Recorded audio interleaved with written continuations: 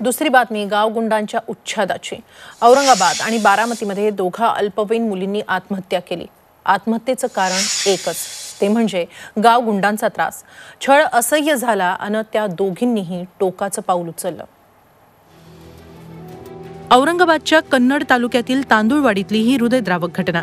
अकरावीत शिकणाऱ्या सतरा वर्षांच्या मुलीनं गावातील टार्गट मुलांच्या त्रासाला कंटाळून गळफास घेतला. ज्ञानेश्वर गोडसे आणि हेमंत सावंत हे गावगुंड वारंवार फोन करून तिला त्रास द्यायचे. या प्रकाराला कंटाळून चार दिवसांपूर्वी तिनं विष पिऊन आत्महत्या करण्याचा प्रयत्न केला. मात्र वेळीच उपचार मिळाल्यानं तिचा जीव वाचला. याबाबत मुलीच्या वडिलांनी मुलांच्या पालकांकडे तक्रार केल्यानंतर त्यांना धमकावण्यात आलं. हा सगळा प्रकार असह्य झाल्यानं त्या मुलीनं राहत्या घरीच गळफास घेऊन आत्महत्या केली.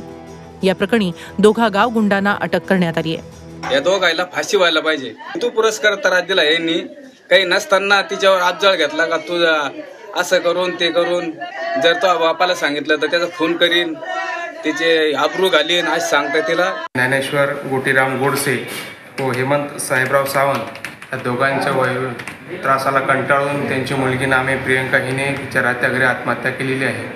तरी त्यांनी त्याच्या कायदेशीर फिर्याद दिलेली आहे. आणि पुढील तपास पोलीस करत आहेत. अगदी बारामतीतल्या सोनगावातही असाच प्रकार घडला. विद्या प्रतिष्ठान विद्यालयात अकरावीत शिकणाऱ्या अल्पवयीन मुलीनं गावातील मुलाच्या छेडछाडीला कंटाळून आत्महत्या केली आहे. पीडित मुलीनं अकरा ऑगस्टला विष प्राशन केलं होतं. मात्र उपचारादरम्यान तिचा मृत्यू झाला. झी चोवीस तासनं या दोन्ही घटना दाखवल्यानंतर गृहराज्यमंत्री दीपक केसरकर यांनी गंभीर दखल घेतली. या प्रकरणी कठोर कारवाई करण्याचे निर्देश त्यांनी पोलिसांना दिले. पोलिसांनी टाळाटाळ केल्यास कारवाई करण्याचा इशाराही त्यांनी दिला. तक्रार तरी दिली. कोणी घाबरायचं कारण नाही कोणाचं काही डिस्क्लोज होत नाही. ॲक्शन घेण्याची पोलिसांची जबाबदारी आहे. पण तक्रार दिली आणि त्याच्यावर ॲक्शन घेतली नाही अशी जर केस असेल तर आम्ही त्याच्यावर शंभर टक्के ॲक्शन घेऊ. मध्यंतरी ठाण्यामध्येही असाच प्रकार घडला होता. छेडछाडीच्या घटनांकडे पोलिसांनी गांभीर्यानं लक्ष देण्याची गरज आहे. तरच गावगुंडांना अद्दल घडेल आणि निरपराध मुलींचेही जीव वाचतील.